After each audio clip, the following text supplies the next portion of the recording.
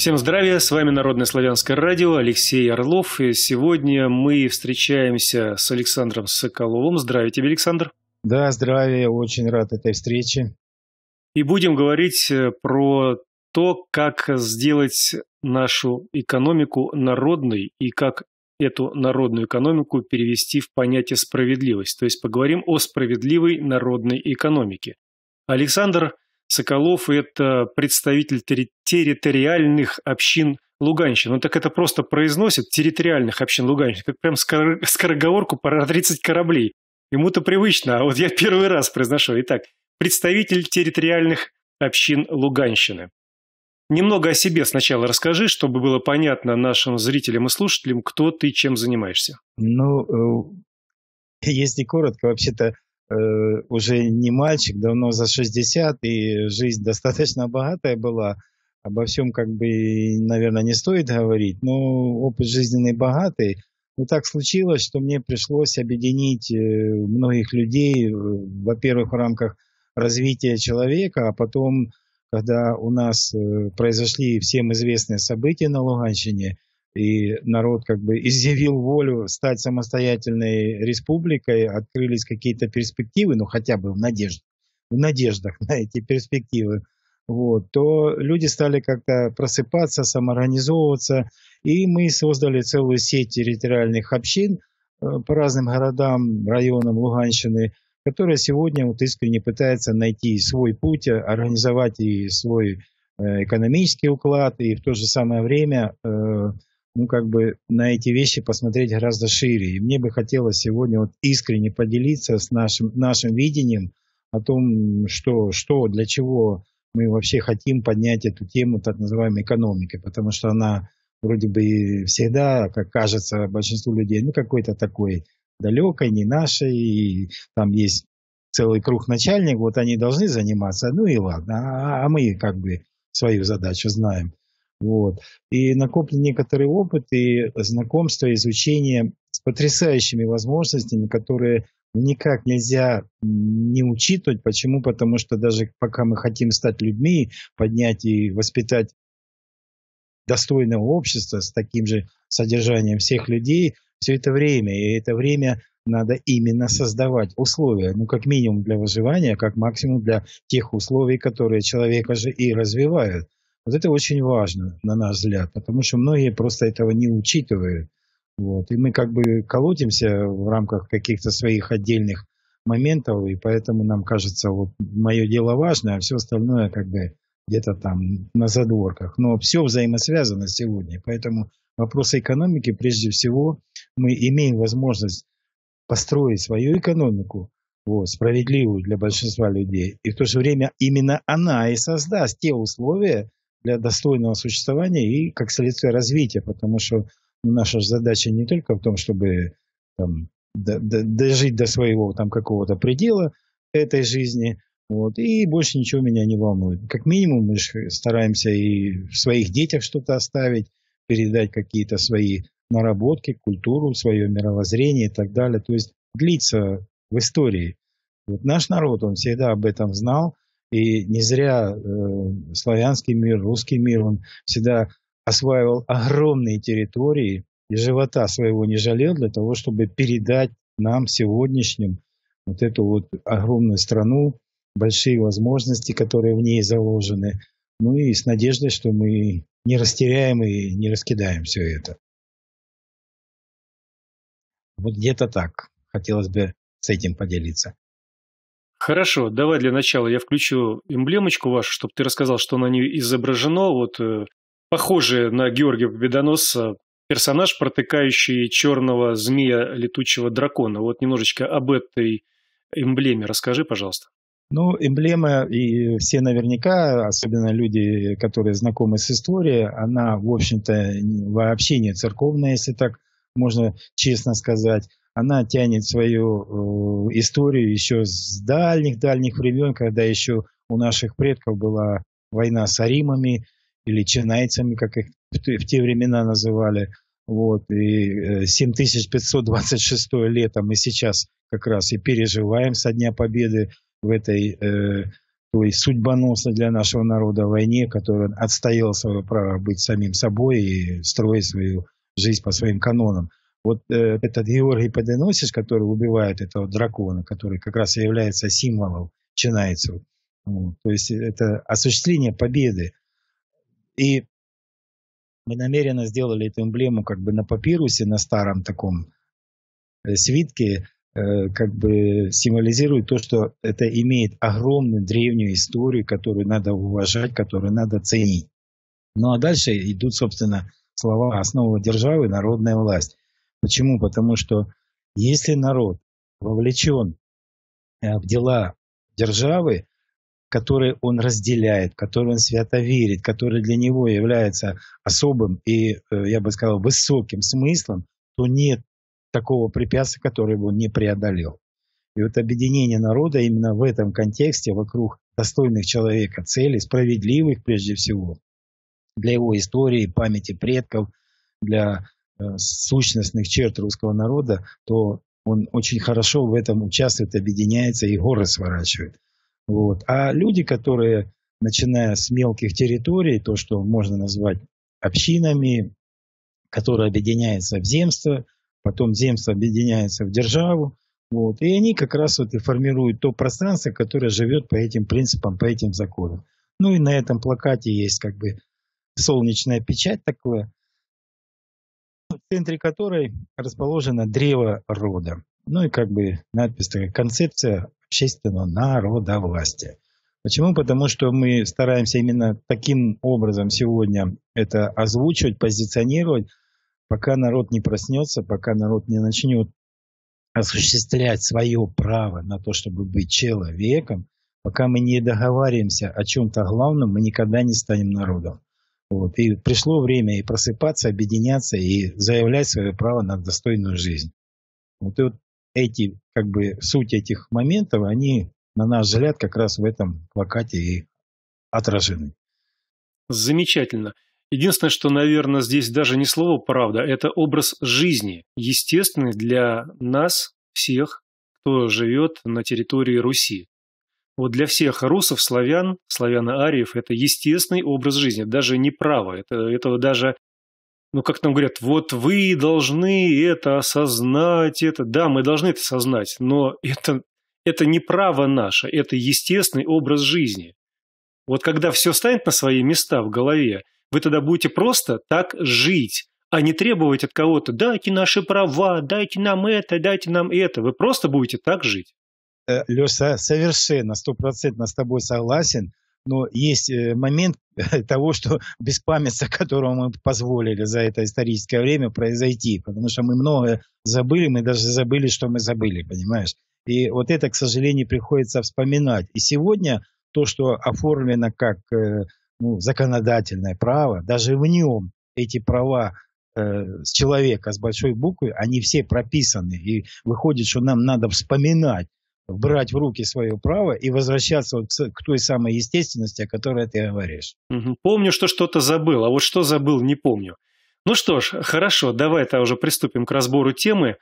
Э, с чего начнем? Вот ты мне прислал пять слайдов который мы можем сегодня рассматривать. Хорошо, э, Леш, давай пока слайды чуть-чуть это. Я постараюсь немножко вначале описать э, положение того, что происходит сегодня и, допустим, у нас, и э, вообще э, в той же самой России, и э, в контексте в мировой так называемой экономики. Еще раз подчеркиваю, основная задача экономики, э, как мы, русские люди, понимаем, и она вообще-то должна, э, так сказать, по сути своей служить человеку, создавать ему условия для развития.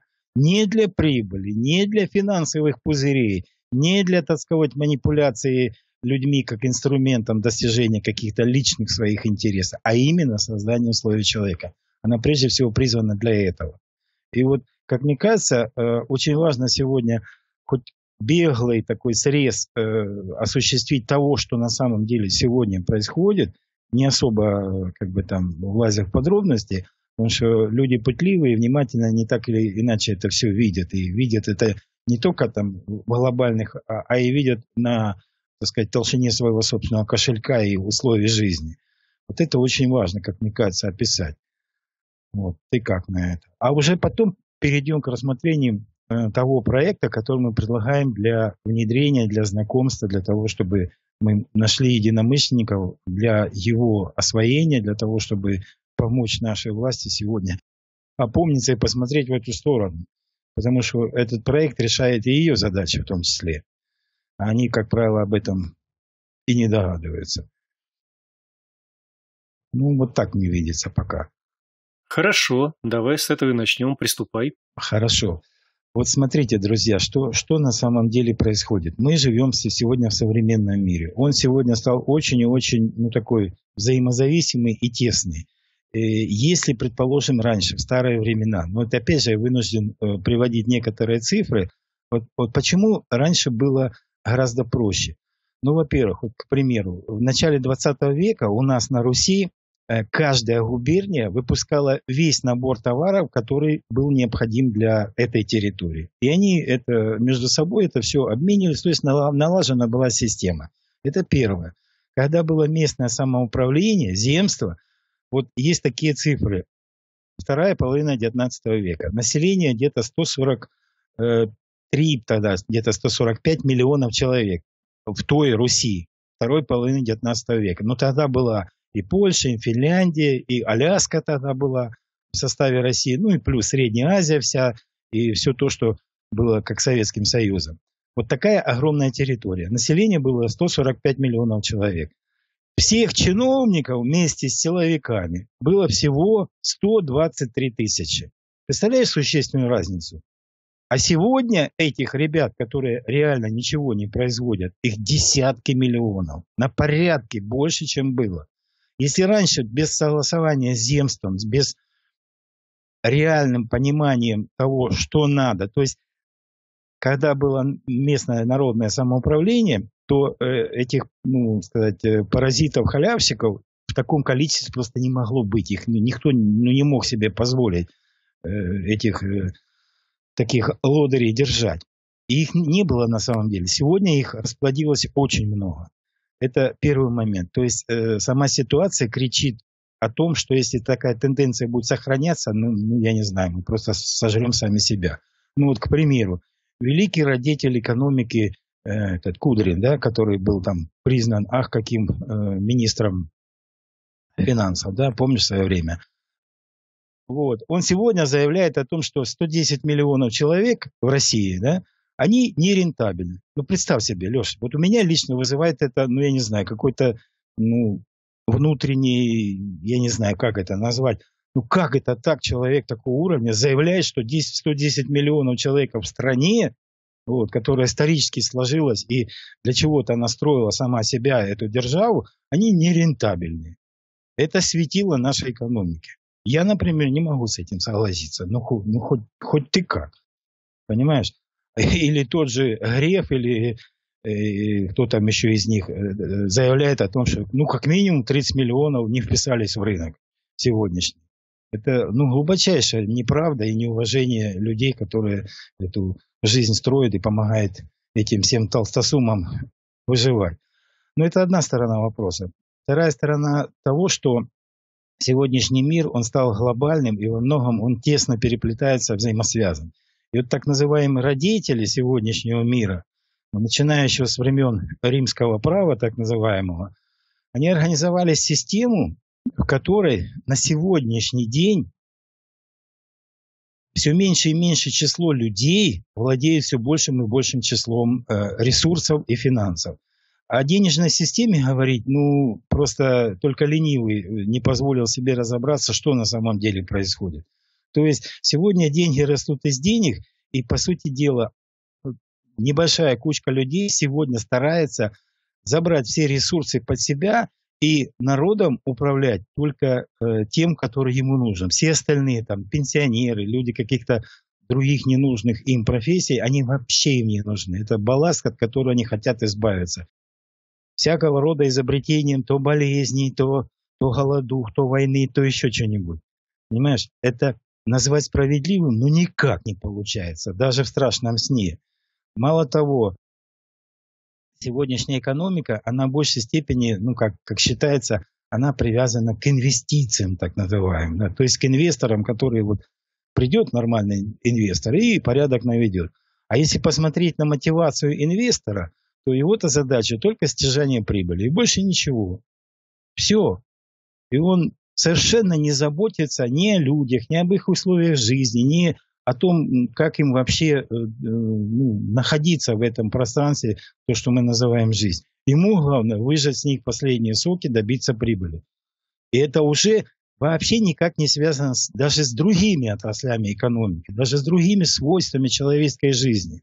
Вот это все исчерпало сегодня до такой степени, что уже со всех дырок кричит. Ну, посмотри, все экономисты сегодня так или иначе все говорят об одном и том же, о том, что кризис жанра назрел.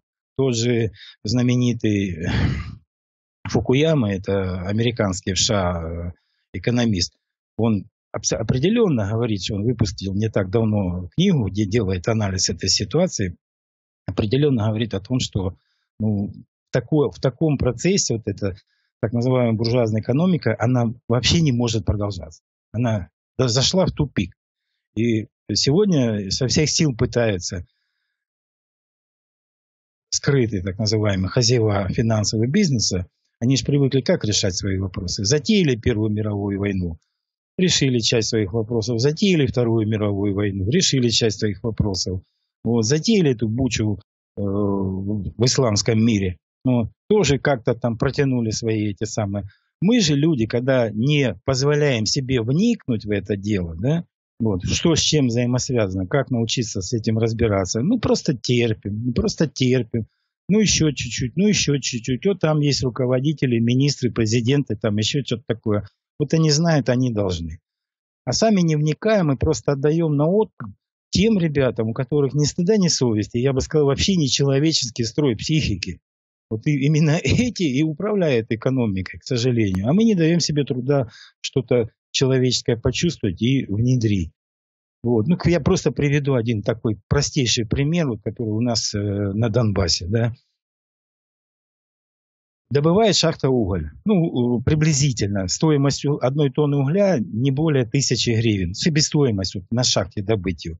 Пока он в этой так называемой экономике попадает на электростанцию для того, чтобы вырабатывать электроэнергию, он проходит этапы СБУ, президента, всякого рода посредников, всяких устроителей вот этих схем и так далее, и так далее, он становится три с половиной тысячи. Электростанция находится, ну, я бы сказал, вот, допустим, в Донецке, Зугрес, которая находится от шахт, ну, я не знаю, ну, в трех-пяти километрах, да? Понимаешь, вот движение этих трех-пяти километров, даже он не успел поменять свою себестоимость, он вырастает до трех с половиной тысяч гривен. Только вот в этой схеме. Понимаешь, они свято верят, что они занимаются экономикой. Но ну, вот, вот сам посуди, можно назвать это экономикой? Перевезли на 5 километров, и уголь стал 3,5 тысячи гривен. Это то, что он продается уже электростанции. Но все вот эти вот клопы, тараканы и эти самые соски сидят и отжимают, отжимают свое. Это все у них называется экономикой. Ну, вот сколько может протянуться такая ситуация? Они свято верят, что все, все правильно, все хорошо. И вот это вот, ну я бы сказал, беспардонный такой цинизм, они называют, ну, а, а, а ничего личного, бизнес. У нас бизнес, ничего личного. Вот сколько это может протянуться? Да недолго. Недолго осталось, если все будет продолжаться таким же самым образом. И поэтому ситуация сегодня просто катастрофически орет о том, что, ребята, надо что-то делать. Надо что-то делать. Здесь, ну, я бы хотел, ну, как бы хотя бы вот такой небольшой средств тебя как-то убеждает, что надо приходить к каким-то, так сказать, другим решениям, чтобы действительно развивать то, что нас всех как людей и выручить, и создаст условия для жизни и развития. Меня давно это все уже убедило. Теперь надо нашим людям, нашим слушателям, человекам и зрителям рассказывать о том, что теперь с этим делать. То, что не все так сахарно и хорошо, это мне, например, давно понятно. Вопрос, что делать? Такой исконно русский вопрос. Что делать, кто виноват? Про дураков и дороги можем не говорить. Ну да, да. Ну, понимаешь, к сожалению, мы очень часто останавливаемся на том, чтобы кто виноват. Да? Вот, сначала выпустить пар, раз, разрушим до основания, а потом, а потом придут другие и управляют точно так же, да? Вот, пока мы не даем себе права разобраться. Вот. Ну хорошо, давай все-таки перейдем как бы к самой сути того проекта, который нам хотелось бы предложить. Вот. Ну, давай э, немножко для начала вернемся вот э, к плакату номер один, да? Есть? Да. Конец истории, будущее история. А, да. Вот такая незатейливая схема, которая, ну, на наш взгляд, она в какой-то степени отражает э, то, что происходит. Вот в 20 веке это как бы сложились две структуры, так называемый капитализм и социализм. Да? Э, в капитализме там что? Есть капитал, э, который создает там какие-то, сказать, средства производства, вот, и э, труд рабочий, который дает какой-то результат. И э, высшим как бы достижением капитализма было то, что называется э, социальное государство, шведский социализм. Да? Плюс само наличие социализма в СССР их тоже буржуиного обязывало, так сказать, брать на себя социальные обязательства перед людьми. Ну и вот как бы высшим таким пилотажем было шведское, э, шведский социализм, как его раньше называли. Вот. Но в итоге э, социализм был э, для чего э, тот капиталистический, для чего был нужен? Для того, чтобы создать человека, который будет без конца потреблять, он без конца, то есть то, что нужен так называемый средний класс, который готов тратить деньги. И сам факт потребления, он создает так называемую прибыль.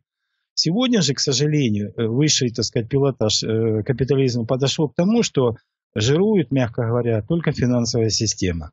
То есть ну, есть куча интересного материала в интернете, которые говорят о правде про финансовой системе. Когда деньги делаются из денег, вот все эти мыльные пузыри, их уже квадриллионы, так сказать, этих долларов гуляют ничем не обеспеченных. Вот, и вся эта э, система, которая основана только на долгах, вот, она э, всех делает, по сути дела, заложниками. То есть наступает своего рода кризис жанра, и он уже взрывается.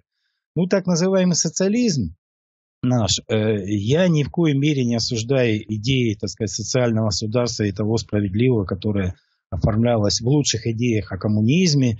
Вот. Э, Все дело в людях, которые, так сказать, в конце концов стали этим процессом управлять.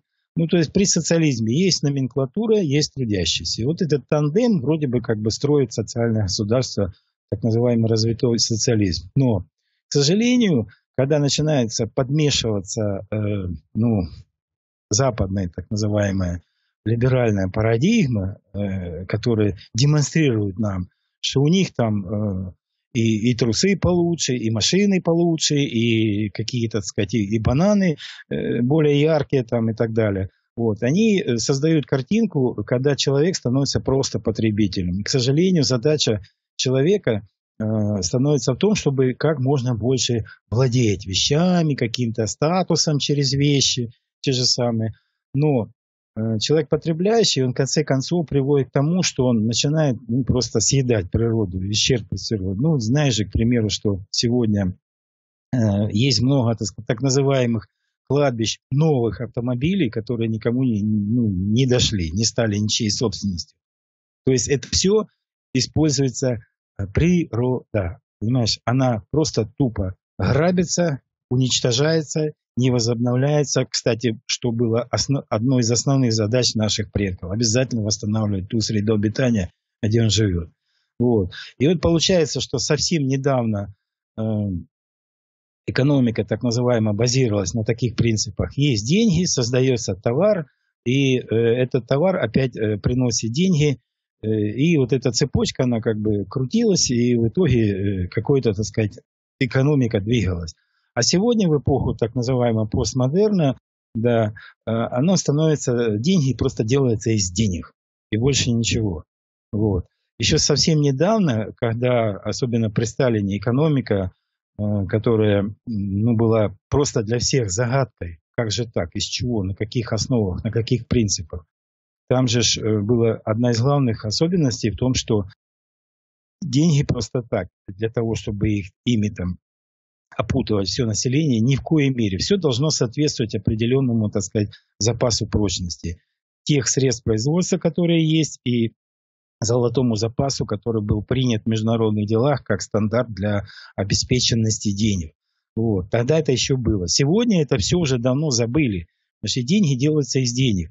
У меня есть знакомый э, товарищ, который был э, директором Надробанка в Донецкой области до всех этих революций. Он когда въехал во все это, ему просто стало стыдно работать управляющим банком. Понимаешь, он, он, он понимал, какой это лохотрон и до какой степени это делает все несправедливым.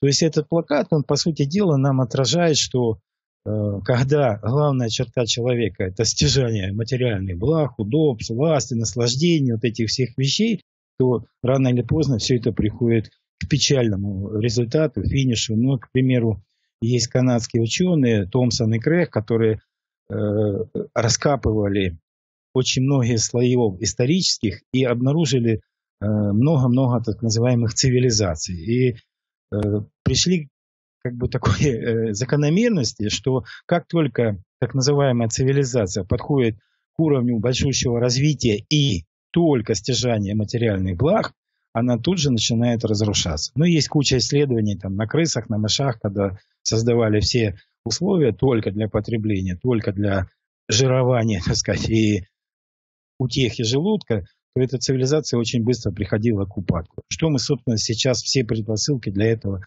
и наблюдаем. Конечно же, так продолжаться даже долго не может. Вот. И поэтому очень важно нам, допустим, перейти к следующему плакату. Переходим. Плакат номер два.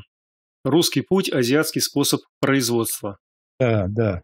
Ну, чем, собственно, отличается я, друзья наших, так сказать, зрителей, слушателей, еще раз э, прошу набраться терпения. Почему? Потому что нам всегда кажется, это такая скучнятина, такая бе-бе-бе. Ну, что-то оно вот, ну, ну, не наше. Вот.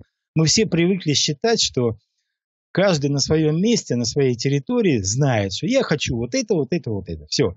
Остальное, ну я там где-то хожу на работу, да, какой-то свой вклад вношу, остальное есть тот, кто мне должен. Понимаешь, вот это наша убежденность, что нам кто-то все должны, вот то, что я хочу. А откуда берется это хочу? С чем оно взаимосвязано? Как оно все взаимодействует со всем остальным миром и людьми, которые рядом и которые дальше? Нас это, к сожалению, не волнует. И поэтому вот находятся те бойкие ребята, которые используют наше незнание и в итоге получаем то, что получаем. Так вот, все-таки русский путь, азиатский способ производства. То есть э, существует четыре фактора, так называемые, которые в экономике ну, являются базовым основные. То есть природные ресурсы, средства производства, сам человек, вот, и э, те финансы, которые э, обеспечивают вот это круговорот вот этих всех вещей. То есть что получается? Вот природные ресурсы, человеческий фактор, они как бы создают э, товар, товар переводится в деньги, дальше деньги уже куда идут? То ли деньги идут на, на опять же, новые деньги, или деньги идут в человека, вкладываются в человека.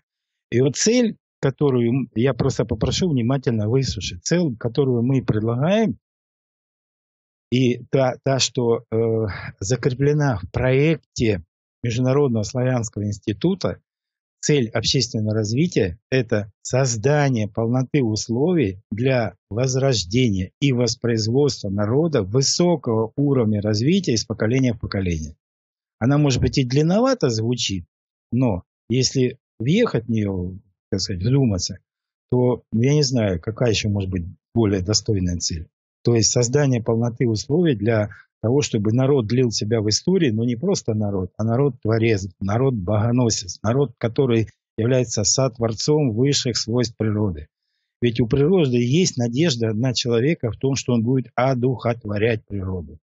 И никто, как русские, отчетливее всего этого ну, не понимает. И это вот как раз закреплено в наших сущностных чертах русского человека. Вот это очень важная цель. И получается, что когда мы ставим такую цель, вот, то тогда народу есть чем заниматься. Понимаешь? Вот он вовлечен в очень судьбоносное, высокое дело, вокруг которого он объединяется.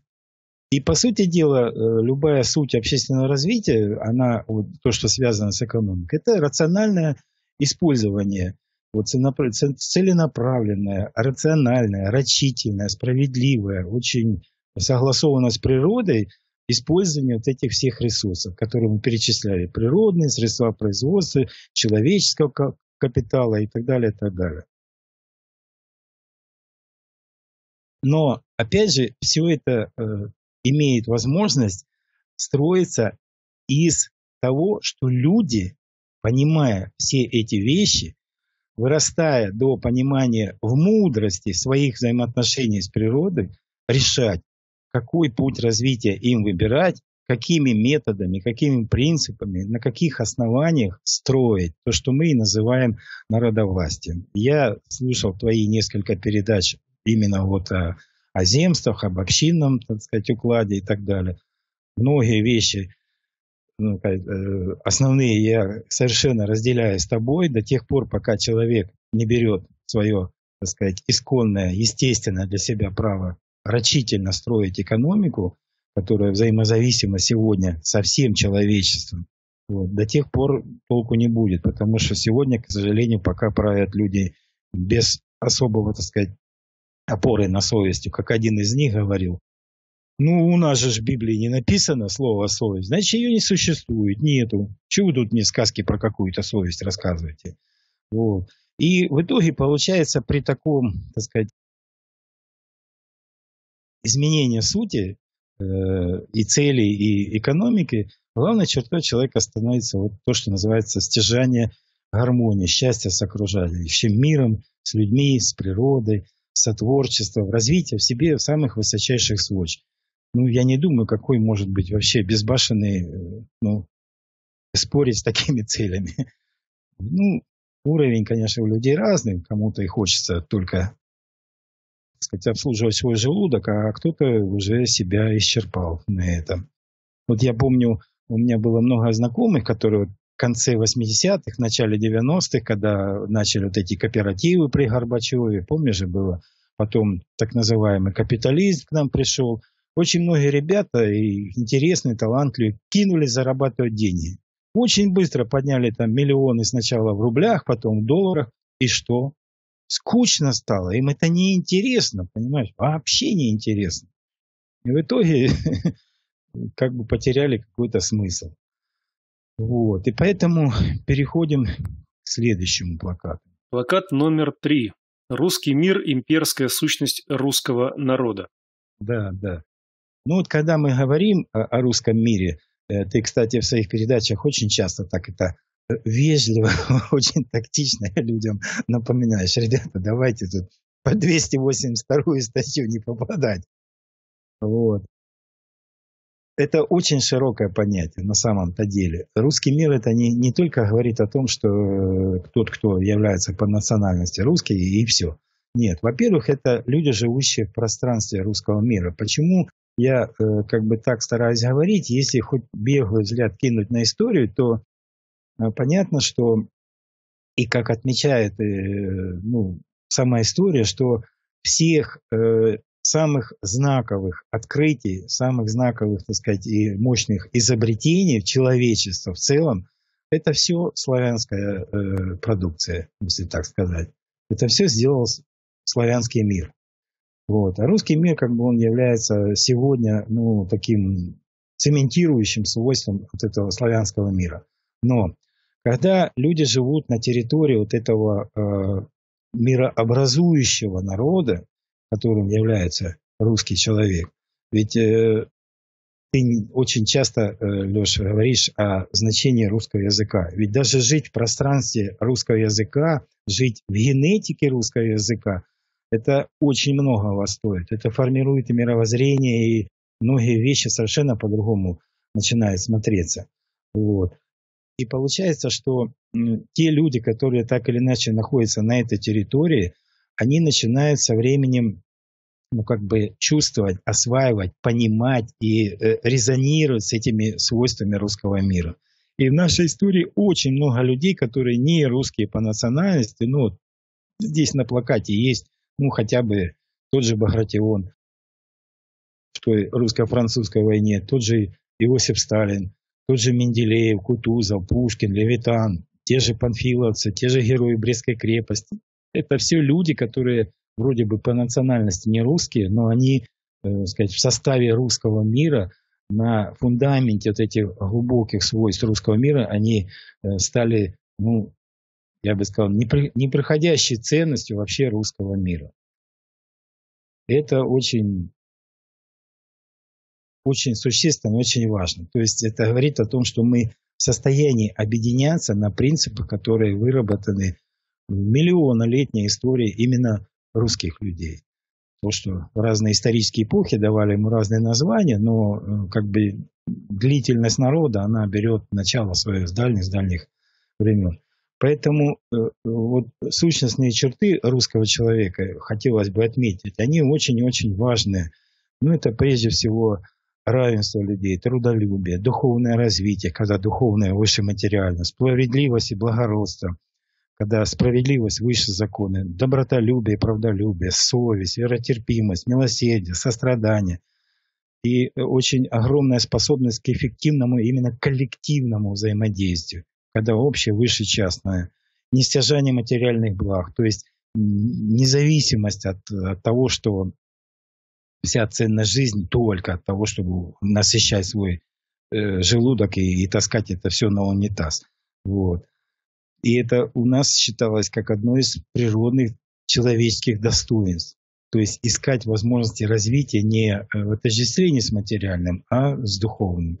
Вот. Самодостаточность, которая оформлялась и в народной, так сказать, экономике, и способности таких Э, так сказать, э, форм уклада хозяйственного, который бы давал стабильность, давал устойчивость. Ну, к примеру,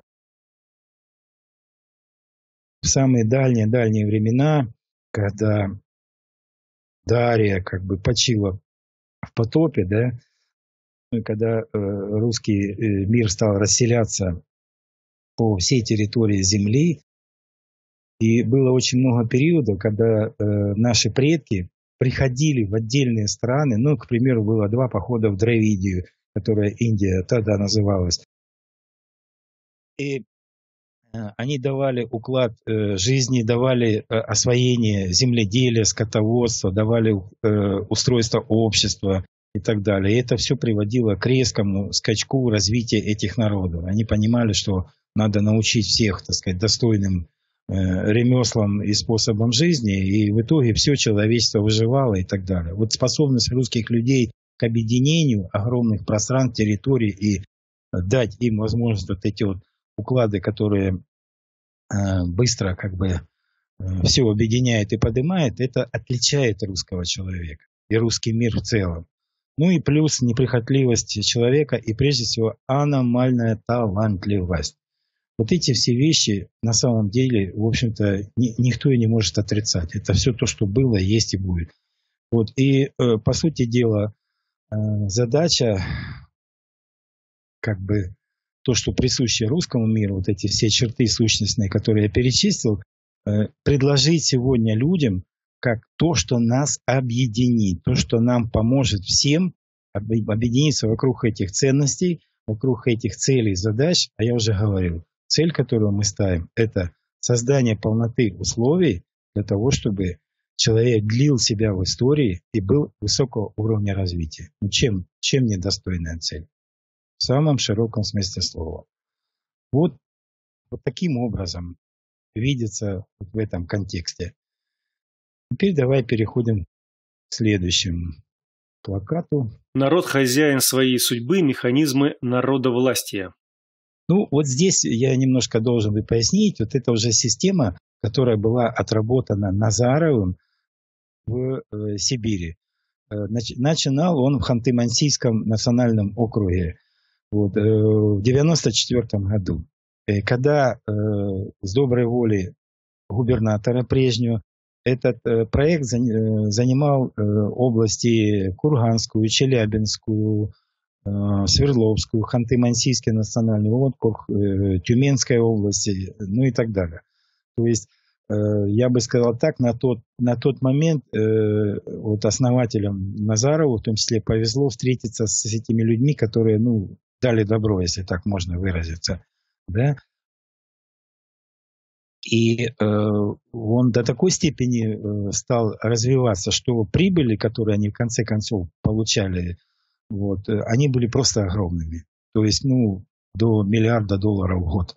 Ну, представь себе, 174 э, предприятия включались в этот проект, и они достигали вот такой прибыли. Я чуть дальше буду рассказывать уже э, о тех реальных, так сказать, достижениях, которые были там ну, осуществлены. То есть с чего начинается проект? Вот э, внизу, где бизнес-планы использования каждого из ресурсов, такой заголовочек, да, и внизу написана э, территория. Есть любая территория. Вот. Э, которая, э, и это же э, как бы проект начинается с самого низа. То есть мы всегда имеем возможность прозреть, что на настоящий момент у нас есть. Ну, все начинается с малой территории. Ну, там город, район, там деревня и так далее. Вот у нас что есть? Там есть луга, пашни, там какие-то ресурсы, вода, земли, которые плодоносные, неплодоносные, там есть какие-то э, природные ресурсы, там уголь, там, нефть, там, торф там, или еще что-то такое. Да? То есть мы это все обсчитываем. На этой территории находятся, допустим, там, институты, заводы, которые имеют определенные достижения, технологии наработанные, уровень развития этих э, технологий людей и так далее. Есть конкретные люди, которые состоят из специалистов, из просто количества населения, из тех, там, которые пенсионеры, дети, там, инвалиды, там, и так далее, и так далее. Это вот все человеческий ресурс, который находится на этой территории. Вот. И э, исходя вот из этого прозрения, то есть обсчета вот этих всех моментов, да, э, вызревает что? Цель, помнишь, какая наша? Развитие человека высокого уровня. Да? Ну, вот, к примеру, в вопросах воспитания. Что мы должны сделать для того, чтобы получить такого человека? Да? То есть построить определенные центры, уклады создать. Ну, допустим, в Японии детские сады больше семи человек в группу не набираются. Потому что просто воспитатель не успевает ему дать э, ни внимания, ни проследить за тем, как он э, реагирует, воспринимает, как он переживает свой опыт, как ему помочь что-то осознать и так далее. Когда их 35 человек в группе, да, задача какая? Одеть, раздеть, посадить на горшок, накормить и, и, больше на, ни на что не хватает. То есть, понимаете, как задача стоит, если в нее вникать? То есть, исходя из этого, значит, нам надо построить центры. То есть, возникает определенный бизнес-план. Э, сегодня это вообще не проблема. Залазишь в интернет, да, вот есть ресурс, там, допустим, э, вода такая-то, да, вот. Э, как ее более рационально использовать? Тут же да, выдается бизнес-план, конкретная технология под это дело, как это все использовать. Там, допустим, песок, гравий, Э, там, песчаник там, или уголь и так далее. Все это сегодня очень... И на этой территории обсчитываются вот эти бизнес-планы, которые используют конкретные лю- людей, э, обстоятельства, которые здесь есть, вот о чем я только что перечислял, и задачи, которые перед нами стоят. И вот чуть выше, получается, вызревает у нас сразу несколько вариантов этих бизнес-планов. Они все отличаются друг от друга фондоемкостью, скоростью отдачи, какой-то трудозанятостью, ну и так далее, там налоговой нагрузкой и прочее, прочее. Да? Вот это все. И уже сам народ через свои парламенты или через земство решает, ну, допустим, выбираем мы пятый вариант. И говорим, мы его, пятый вариант, выбранный бизнес-план, утверждается парламентом. И это становится уже законом. Понимаешь? Вот это уже закон. То есть закон получает целевое развитие как программа развития. И дальше задача идет в чем? Что формировать единый территориально-хозяйственный комплекс вот, с учетом всех уже существующих бизнесов, которые есть на этой территории. Никто никого кошмарить там матросами, забирать собственность не собирается, понимаешь? То есть у нас есть серьезная задача есть предприятия, которые вот на этой территории существуют, есть ресурсы, есть конкретные технологии и бизнес-планы, с помощью которых развивать эту территорию, чтобы добиваться вот той большущей цели. И дальше мы переходим к следующему плакату. Инструмент исполнения программы развития. Да, да, да.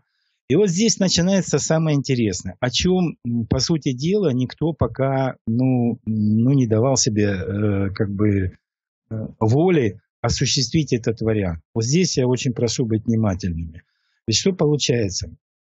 Я должен привести э, примеры. Э, вот опять же, эта программа, которую я э, искренне стараюсь э, донести, она основана на, прежде всего, на передовом опыте как мировой экономики, так и нашей русской. Такие ученые, как Шарапов, Нечволодов, э, к примеру, японское чудо, которое после войны буквально за одно поколение она поднялась на уровень чуть ли не второй державы в мире по экономическому развитию, он построен на чем?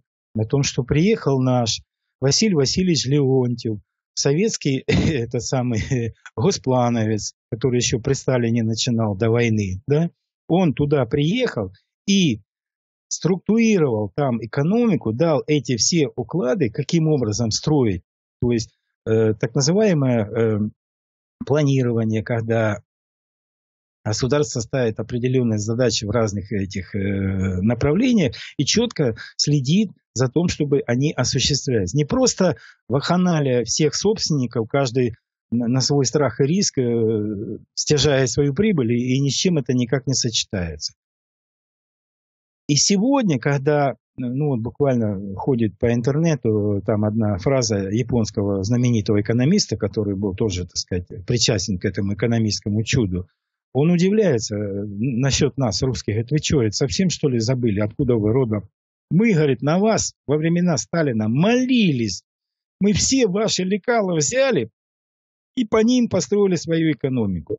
То же самое было и с Китаем, который в 89 году Э, в 79-м, по-моему, буквально стоял на пороге нищеты. А ну-ка, миллиардное население. Они за три года структурировал экономику по вот этим принципам, понимаешь? Они быстренько подняли, тогда э, уже этот самый, нас завалили тушенкой Великая Китайская стена. Вот. Был такой прецедент. То есть я намеренно объясняю, что это не просто, так сказать, притянутые за уши, а это все основано на том, что особым образом Э, создается система, и руководство, дирижирование этой системы берет на себя государство. Не просто э, частные э, как бы риски и маленькое видение отдельных людей, а именно целостная экономика, которая э, осуществляет, во-первых, цели и задачи, которые поставлены, и, во-вторых, она под эти цели структурирует экономику. Вот кто должен выполнять эту задачу? Вот здесь вот самый интересный момент наступает. Вот каким образом, инструментарием каким исполнять вот эту вот программу, это развитие. То есть вот здесь возникает потребность в этом самом дирижере, который будет осуществлять вот эти все вещи. То есть здесь создается государственная корпорация развития, как так сказать, на государственном уровне, так и на отдельных территориях, на районных уровнях. Вот. Она как раз и начинает заниматься тем, что вот тут внизу у нас есть там овалами, кружочками э, нарисованы, которые есть, есть частные предприятия, есть предприятия, которые там с определенным участием капитала, есть предприятия, которые создает корпорация. В чем задача корпорации? Ну, вот, допустим, вот э, есть сегодня фермер, да, у него есть там определенная территория земли. Вот как у нас на сегодня происходит? у фермера вот человек, который просто знает землю, который имеет навыки, о чем ты сегодня говорил э, в этой последней передаче, когда говорил о Варне, да, о развитии отдельных, так сказать, свойств человека. Вот. То есть для фермера, который знает землю, привык растить там урожай, там, заниматься скотом и так далее, да, вот у него есть инструментарий, который он наработал. Он специалист в этом деле. Но сегодняшняя ситуация, она его загоняет в угол. Каким образом? Она его заставляет идти в банк, где на бог знает скольких листах, мелким почерком написан договор о э, как бы э, о деньгах, которые он якобы должен взять долг у этого банка, чтобы развивать свое хозяйство. Да? Он там далеко не все соображает в этой терминологии, далеко не все успевает дочитать, потому что его задача получить деньги. В итоге он становится рабом. Потом его вгоняет, вгоняет э, какие-то, сказать, обстоятельства, где у кого он обязан там, взять технику на прокат и так далее. То, то есть в лизинг какую-то технику набирать.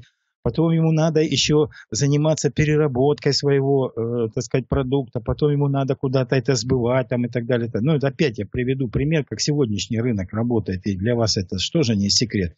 Вот у нас свои ребята, да, вырастили прекрасные арбузы. Вот, казалось бы, здесь, в Донбассе, не особо-то земля у нас, но вырастили хорошие арбузы. Это вот было в прошлом году. Вот. На рынке они э, ну, начинались там где-то с 15, 14, ну где-то дошли до 12 рублей за килограмм. Ну, потому что у нас уже сейчас рублевая зона. Вот. Дошли до этой э, стоимости. На базар, для того, чтобы ее отнести, да, э, есть эти так называемые хваткие перекупщики. Они у них берут всего-навсего по 4 рубля, а себестоимость чуть выше. Понимаешь? И получается, его просто туда не пустят на рынок, потому что эта система работает, они же там знают, как, кому, на какие места наступить, чтобы не дать ему жить. Вот. И вот головная боль у такого фермера, а как мне пристроить свою продукцию? Ему предлагают невыгодные условия, других нету.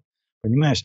Так вот, корпорация развития, она как раз и занята тем, что создает все недостающие цепочки.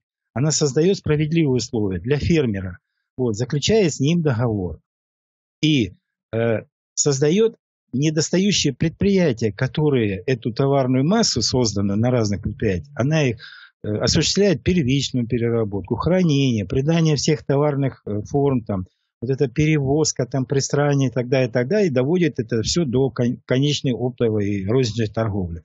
И только после этого создается прибыль. Есть такая ситуация, которая еще называется э, отложенные платежи. И это 1041 статье Гражданского кодекса России это тоже зафиксировано как такая возможность. Чем, к сожалению, отличается наша сегодняшняя экономика? Что на каждом этапе производства, да, до того, как его продали, все, э, э, так сказать, э, повязаны налогообложением на каждом этапе. В западном развитом мире такого нет. Налогом облагается только крайний результат, когда эта продукция э, реализовалась. И только оттуда начисляются налоги. У нас же все же наоборот. То есть все находятся в невыгодных э, обстоятельствах, в невыгодных условиях. Вот как я говорил про этого фермера, да, представляешь, какой головняк у него с утра до ночи, а корпорация развития, она прежде всего является некоммерческой, неприбыльной организацией. Она только нацелена на то, чтобы создавать условия для всего бизнеса. Именно так, и никак по-другому. Она является дирижером, который вот играет вот эту вот общую музыку, создает для всех условия, может потом создала вот эту всю цепочку, так сказать, и передала это, если это новое э, созданное предприятие, которого не хватало для всех этих, сказать, она может передать частнику. Вот. Или, допустим, все частники, которые сегодня существуют на этой территории, пожалуйста, входите в наши, так сказать, цели и задачи, мы вам точно так же будем создавать условия все. Вот. То есть для всех становится выгодно. А теперь я, собственно, перехожу к тому, как это было э, осуществлено в Сибири и какой был результат. Вот. Ну, к примеру, они прежде всего, э, ну, у, у каждой, так сказать, э, администрации на местах есть так называемая э, государственная собственность, коммунальная собственность или еще какая-то. Ну, то, что имеет государственный статус, не. Да? Вот они для начала э, взяли на баланс вот эту всю угробленную, убитую, что называется, собственность. Вот. И потом стали давать задания своим в этой корпорации, в самой корпорации, когда она развилась, там где-то до 200 человек работало, не больше. Остальные э, там несколько десятков тысяч людей в итоге было, э, так сказать, э, работало на на эту корпорацию. То есть людей было достаточно много потом.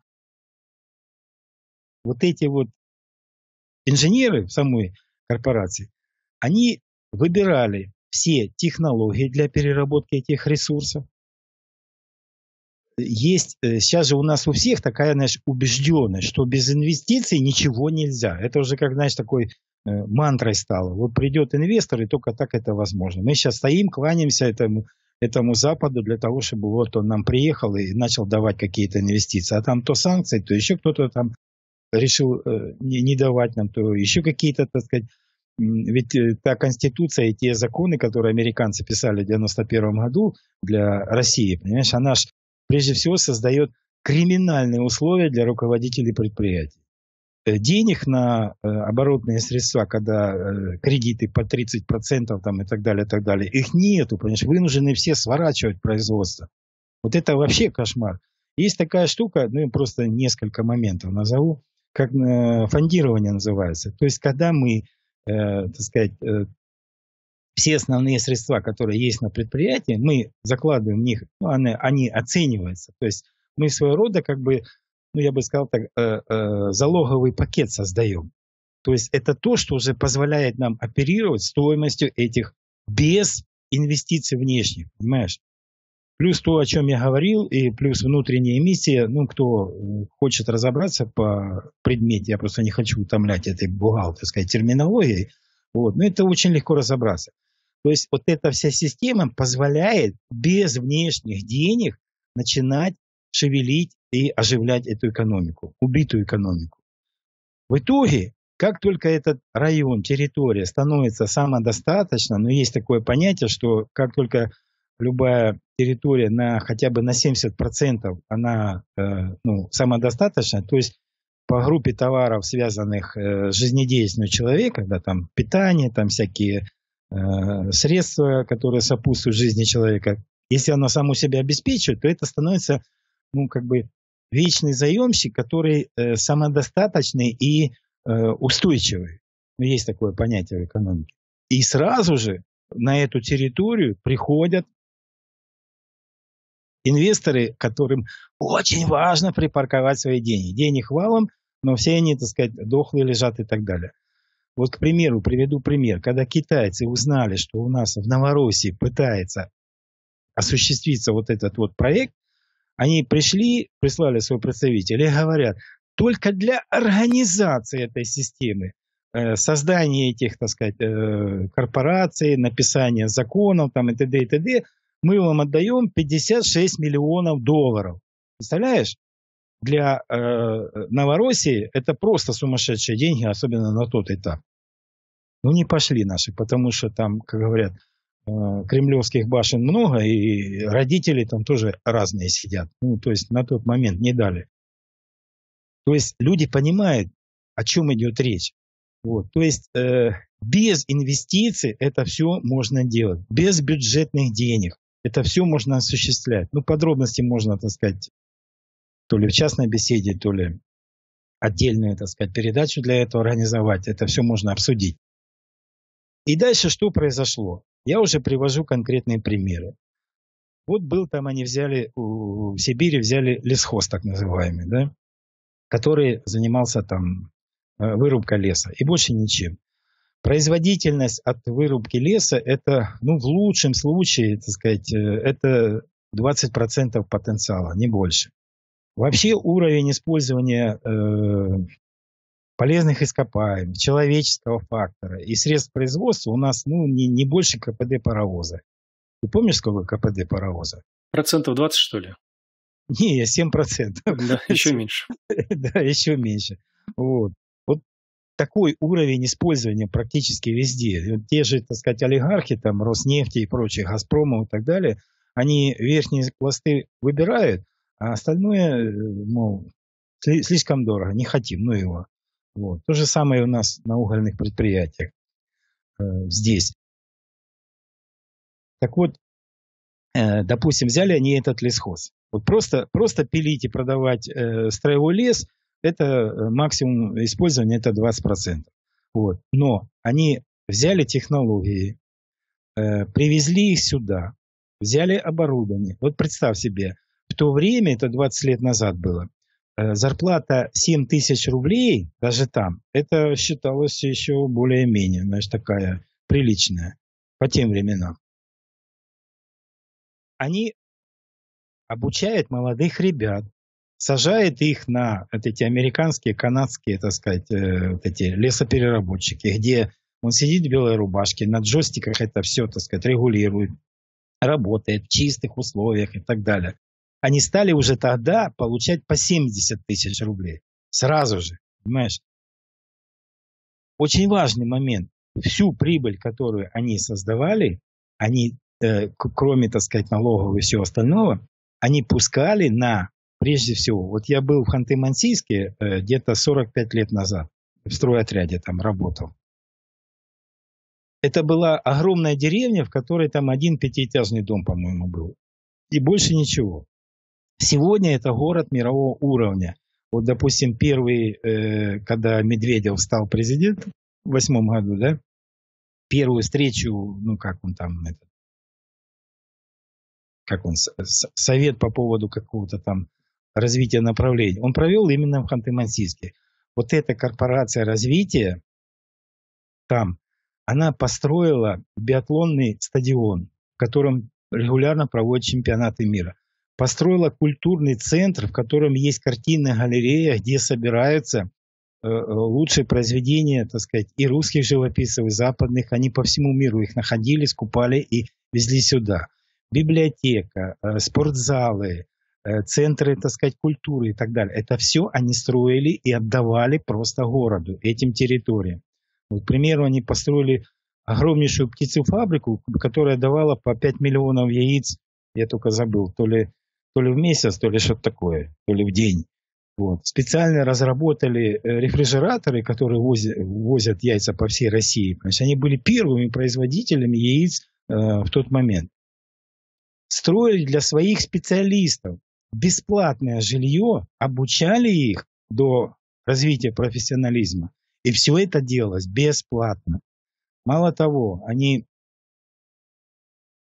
на греческом острове Родос взяли в аренду северную часть этого острова, да, и там э, э, создали детский центр, где семья с ребенком имела право приехать туда. И э, себестоимость была гораздо ниже, чем у всех греческих местных этих э, ну, центров отдыха. Вот они там оздоравливали и детей, и их семьи. Понимаешь? И вот все было посвящено тому, чтобы развивать эту территорию для вот этих задач, для человека. В интернете существует набор этих всех предприятий, они все до сих пор работают. Э, правда, конечно, э, саму систему там разрушили. Почему? Потому что те же самые э, олигархи, когда почуяли, что это конкурент, которому не, нету равных, вот, они быстренько решили это дело прикрыть.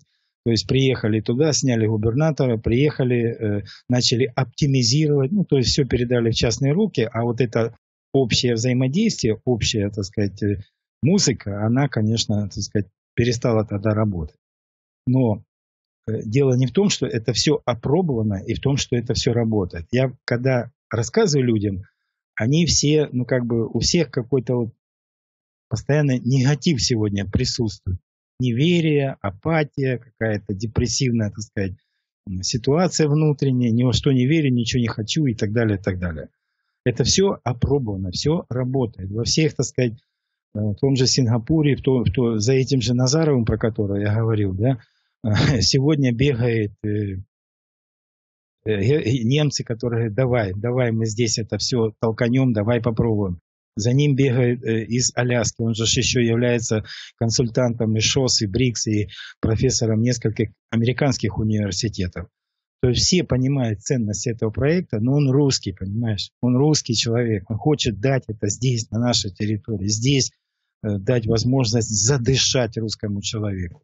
Вот, достойно и э, с именно осуществлением всех условий, которые бы помогли человеку развиваться.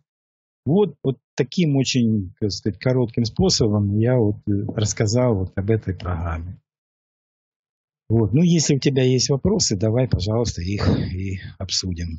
Ну, на самом деле, на вопрос, наверное, у нас уже времени нет, потому что час передачи уже прошла. Я думаю, что надо будет нам сделать еще одну передачу, в которой поговорить по этой теме и развернуть эту тему для того, чтобы более подробно понять, как на практике это можно применять, как на практике можно добиваться результатов, что для этого нужно, кто для этого нужен, учитывая те реалии, в которых мы сейчас находимся. Хорошо. Вот смотри, э, Леш, я тогда советую как бы э, привлечь еще к этой нашей беседе и самого профессора Назарова. То есть я постараюсь с ним договориться о времени, когда он, э, ну, потому что у него своего скайпа дома нету, да, то есть у меня там через друзей придется его где-то привязать к определенному месту, чтобы ты в этот момент был желательно свободным, и мы э, уже, так сказать, Вот. Э, никто, как, как он, э, на все тонкости, все подробности более так сказать, точно не ответит. И это будет, я думаю, ну, большое подспорье в этом разговоре. Ты как, не против? Я всегда за. Теперь давай попрощаемся с нашими радиослушателями и зрителями Народного славянского радио. Что-то в заключении доброе, вечное, хорошее скажем. Хорошее то, что, друзья, мы все, в общем-то, человеки. И мы призваны в этот мир э, научиться быть, так сказать, сотворцами самых высоких свойств природы. Мы призваны для того, чтобы быть счастливыми, а не терпилами. И у нас для этого есть все возможности. Нужна только добрая воля и желание это делать, делать. Потому что будущее – это развитие того, чем мы занимаемся прямо сейчас. Если мы сейчас сидим и скулим и плачем, то мы именно тренируем эту привычку – скулить и плакать. И она же становится частью нашей жизни. Все очень просто на самом деле. Я призываю вас от всего сердца проникнуться, ехать во все это, э, э, более развернутое, так сказать, представление этой программы есть на наших ресурсах, в ВКонтакте, в Одноклассниках есть Э, такая группа территориальная община города Краснодона. Вот там это все последовательно изложено. Есть э, возрождение Луганщины, тоже такая группа там же. Она как раз э, выкладывает все материалы, которые идут от первого источника. Вот, и все это есть возможность познакомиться. И я абсолютно уверен, друзья, что только объединившись, проснувшись, мы действительно сможем что-то огромное, достойное человека построить. И у нас это в крови. Просто надо вспомнить, проснуться. Вот и все. Я искренне рад и благодарю всех за внимание. Вот. Ну, не мог не поделиться всем этим. Всего вам доброго. До следующих встреч. Ну что ж, благодарю тебя за то, что ты это все нам рассказал. Благодарю тебе что был с нами и достаточно большое время потратил на то, чтобы донести то, чем владеешь. Призываю наших радиослушателей и зрителей поучаствовать в создании следующих передач, написать какие-то свои вопросы по этой тематике, может быть, поделиться какими-то своими наблюдениями, задать конкретные вопросы. Вот у нас вот так, вот так. Исходя из вашей схемы следует вот то-то, вот то-то. Правильно ли мы понимаем? Или как применить ее на месте? Как нам сделать это, это, это? Из такого общения получится новая передача, которая поможет нам не просто разговаривать, а поможет уже становиться хозяевами на своей земле и делать, наконец, то, о чем так долго мы все говорим. На сим я с вами прощаюсь. Напоминаю, сегодня мы разговаривали с Александром Соколовым, это представитель территориальных общин Луганщины. И говорили мы о справедливой народной экономике. Угу. С вами был Народное славянское радио, Алексей Орлов, Александр Соколов. Сегодня прям у нас такое птичье, такой взлет, взлет у нас сегодня идет. Орлов и Соколов. Желаю всем добра, до новых встреч, друзья мои. Увидимся и услышимся. Быть добру. Всего доброго. in the